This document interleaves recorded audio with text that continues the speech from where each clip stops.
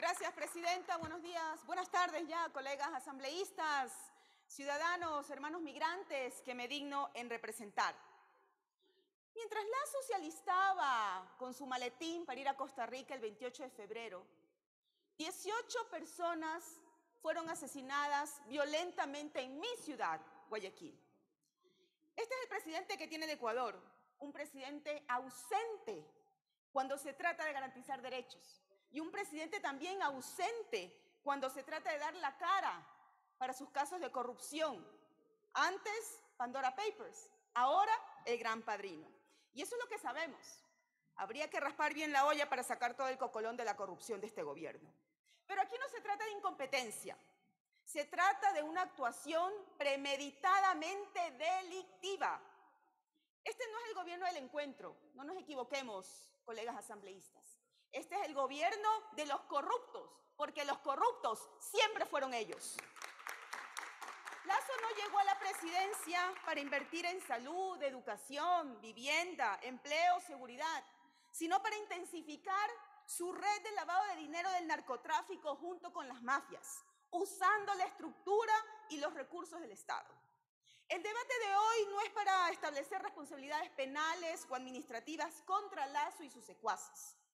No somos jueces, somos los representantes del pueblo ecuatoriano, aquel pueblo que no tiene que comer, que no tiene empleo, que no tiene medicinas, que tiene pánico de salir a las calles y rechaza la gestión de Lazo. Pueblo que le dijo no a su consulta tramposa. Pueblo que nos eligió para realizar el control político, fiscalizar y establecer las responsabilidades políticas de las autoridades que no cumplan la ley y la Constitución.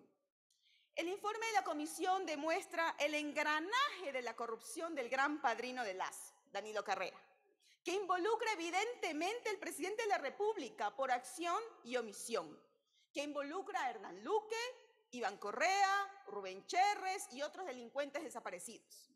Lazo lideró esta red de corrupción y cometió delitos de concusión, cohecho y peculado.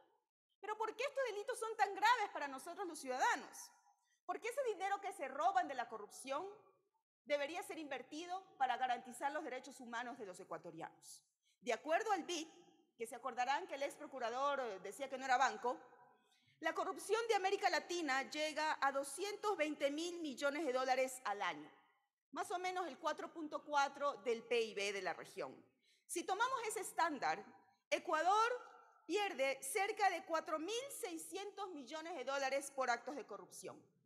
4.600 millones de dólares que necesitamos en hospitales, en escuelas, en universidades, en seguridad y en protección social.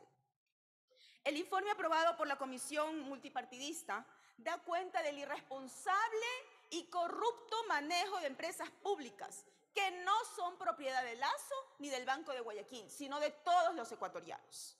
Lazo se fue por encima de la ley de empresas públicas y nombró bajo decreto a su ex empleado del Banco de Guayaquil, lo cual es ilegal y antiético. Ya lo dijo Pepe Mujica, si quieres enriquecerte, no entres en política. Porque se viene la política para buscar el bien común, el bien colectivo, para servir a la gente y no para servirse del Estado.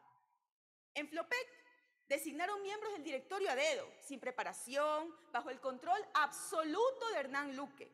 Las ganancias de Flopec, que eran de 40 millones de dólares, curiosamente con Luque, la empresa registraba 20 millones de dólares. ¿Dónde están esos otros 20 millones de dólares? Se tomará cinco años más la Fiscalía, gracias presidente, para solicitar una orden de prisión preventiva. Con esos 20 millones de dólares que seguramente ya se multiplicaron en guaridas fiscales, hubiéramos podido construir 200 escuelas, por lo menos cuatro hospitales y hubiéramos podido dotar 200 patrulleros a la policía.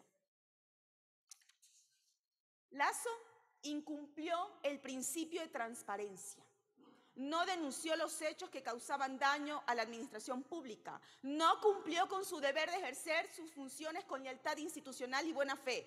¿Es justo que una persona de esa calaña siga siendo presidente del Ecuador? No, colegas asambleístas. Lazo es responsable ante la patria y ante el pueblo de cometer delitos de concusión, cohecho y peculado, delitos señalados en el artículo 129, numeral 2 de la Constitución de la República, y con todo esto nos sobran razones para que esta Asamblea Gracias, inicie el proceso de...